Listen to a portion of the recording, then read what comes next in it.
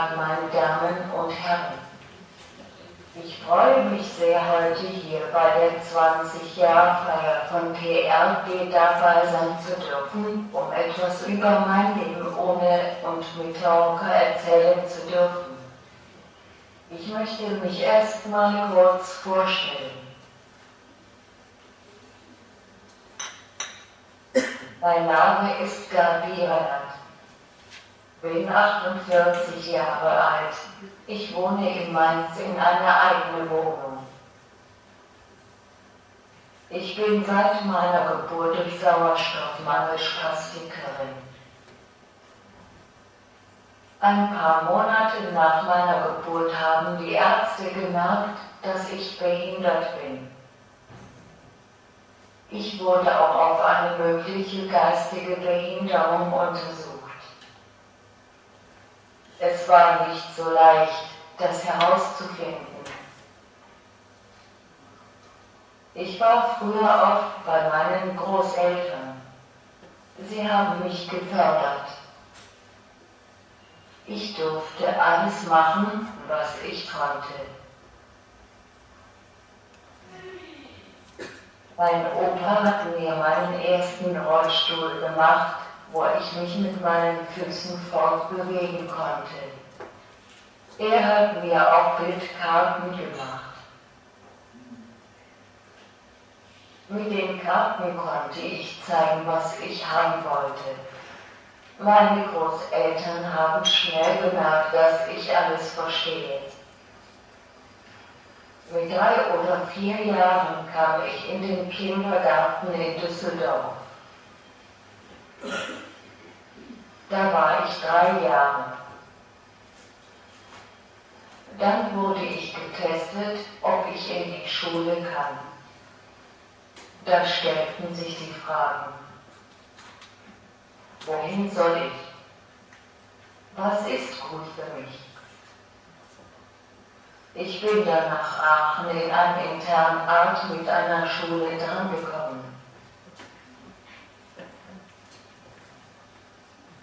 Da kam ich erst mal in die Vorschule. Sie haben mich erst mal geprüft, ob ich was lernen kann. Ich war da ein oder zwei Jahre. Da kam ich in eine Klasse, in der nur Sprachbehinderte waren. Wir hatten jeden Tag Sprachtherapie. Wir haben auch Lesen, Schreiben und Rechnen gelernt. Auch hier gab es wieder Fragen. Wie kann ich schreiben? Wie kann ich mich verständlich machen? Da habe ich einen Kopfschreiber und eine Schreibmaschine bekommen. Ich konnte dann schreiben.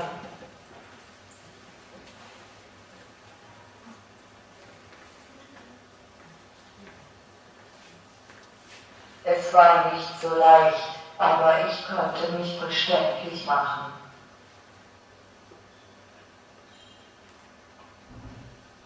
Sie haben mir noch eine Schreibmaschine mit Scanning-System gekauft. Das ging leichter für mich. So habe ich schreiben gelernt. Ich habe drei Geschichten erfunden und geschrieben. Dann habe ich einen kleinen Kommunikator bekommen. Damit konnte ich schreiben. Er war noch mit einer kleinen Rolle Papier gefüllt.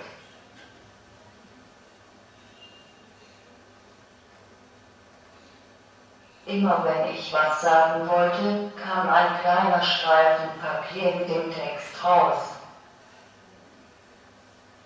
Und dann konnte man es lesen, was ich sagen wollte. Das habe ich mit meinem Kopfschreiber gemacht.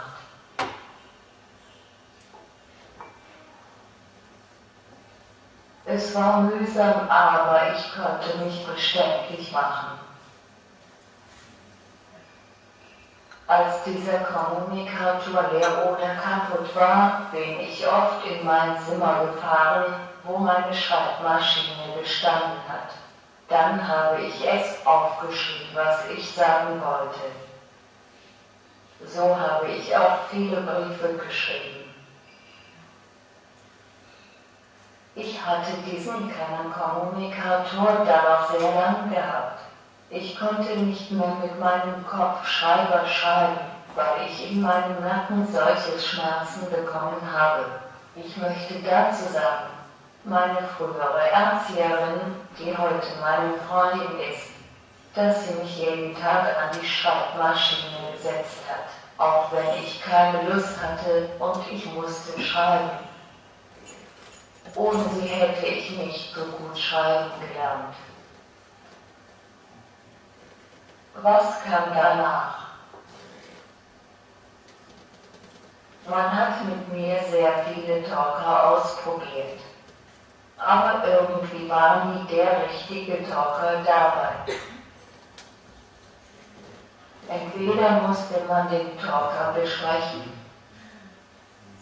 Dann konnte ich nur die Wörter oder die Sätze sagen, was man mir in den Talker gespeichert hat. Und ich glaube, das konnte ich noch nicht mal selbst bedienen. Dann hatte ich noch andere Talker gehabt, die waren auch nicht so gut für mich. Denn was bringt mir ein Talker, wenn ich nicht selbst schreiben kann? Nämlich überhaupt nichts. Ja, ich konnte mich jahrelang nicht richtig verständigen. Ich hatte zwar selbstgemachte Buchstabentafeln,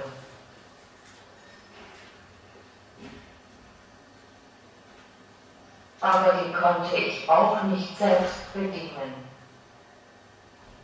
Also das war nichts Halbes und nichts Ganzes.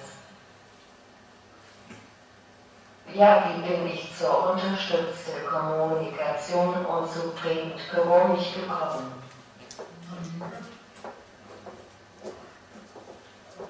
Das war so. Ich war im Sommer 98 für fünf Wochen zur Kur. Dort habe ich auch Sprachtherapie gehabt. Einen Tag bevor ich nach Hause konnte, hat die Sprachtherapeutin gesagt, morgen kommt Herr Böden und er zeigt einen Delta Talker. Ob ich Lust hätte, mir es mal anzusehen. Ich habe gesagt, ja, ich kann mir es mal ansehen, vielleicht ist der Talker was für mich. Am nächsten Tag ist Herr Bögen gekommen und er hat den Delta Talker gezeigt. Ich durfte ihn auch ausprobieren. Ich hatte das erste Mal nach jahrelanger Suche das Gefühl, dieser Talker ist was für mich.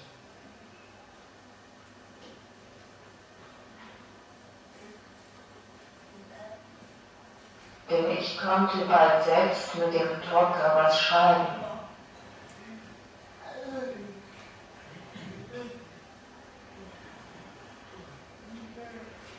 Und dieser Delta-Drucker hat mir gleich zugesagt.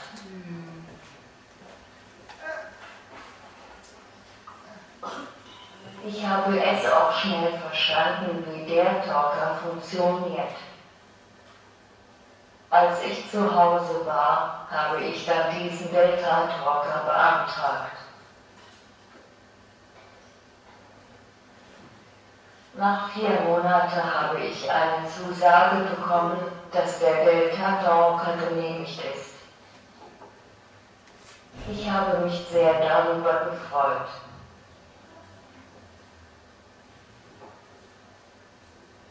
Nach langem Ausprobieren womit ich diesen Talker bedienen konnte.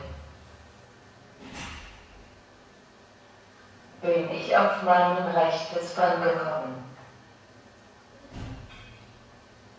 Das Bein kann ich kontrolliert bewegen. plötzlich konnte ich mich selbst mit jemandem unterhalten.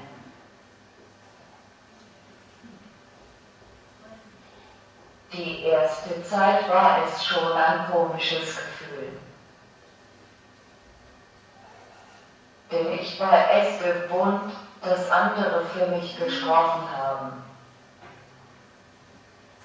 Es hat etwas gedauert, bis ich mich getraut habe, andere Leute anzusprechen, aber es ging nach einer Zeit immer besser. Und ich bin sehr froh, dass ich mich selbst verständlich machen kann.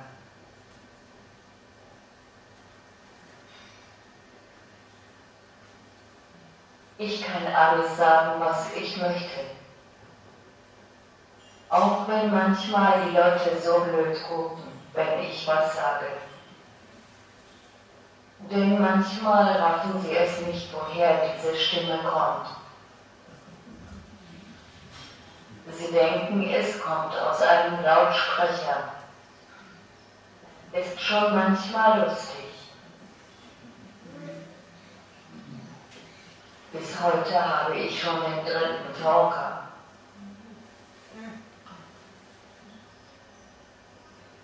Und jetzt habe ich den E-Controller mit Eis. Ich schreibe jetzt mit meinen Augen. Es geht schneller als vorher.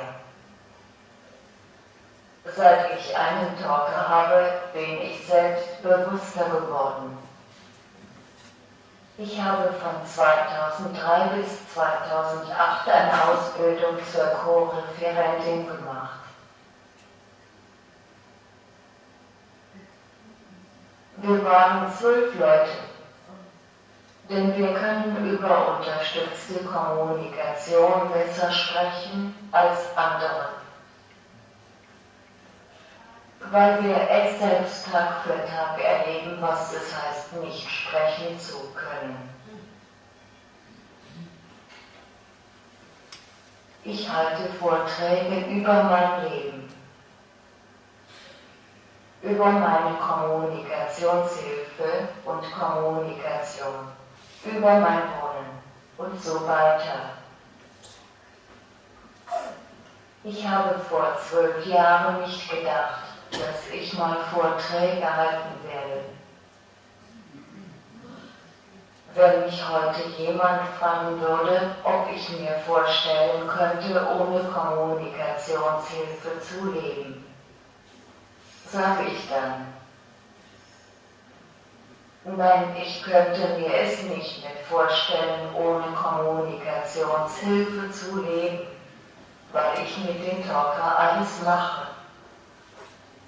Ohne Talker könnte ich meine Kontakte nicht pflegen. Ich könnte mich nicht mit meinen Freunden im Internet treffen, um zu chatten, mich nicht mit Fremden unterhalten, wenn ich unterwegs bin, nicht selbst etwas einkaufen gehen.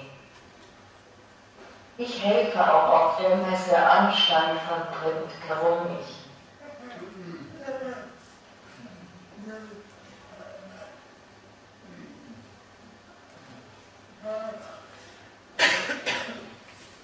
Das macht mir sehr viel Spaß.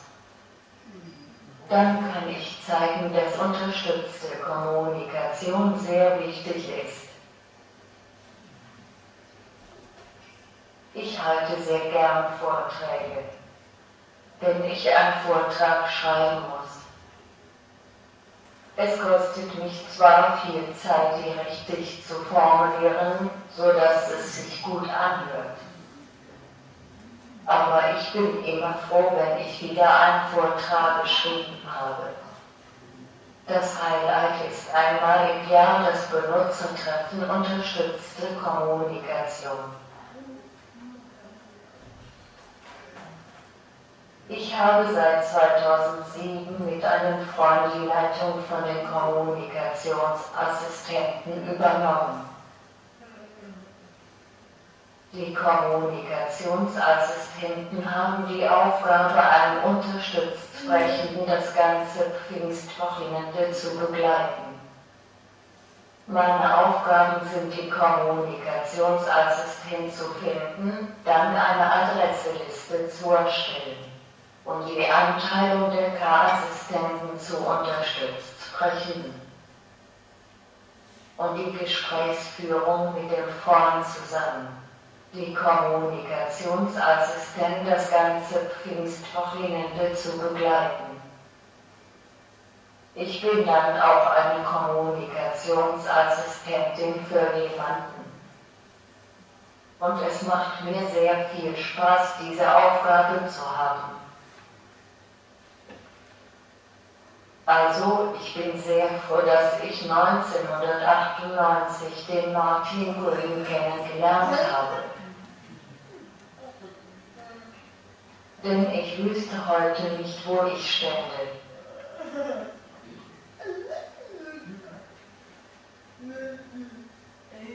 So, das war es erstmal von mir, was ich Ihnen von mir erzählen möchte. Ich hoffe, mein Vortrag hat Ihnen gefallen. Wenn Sie noch Fragen haben, können Sie gern zu mir kommen. Ich bin noch hier. Vielen Dank für Ihre Aufmerksamkeit.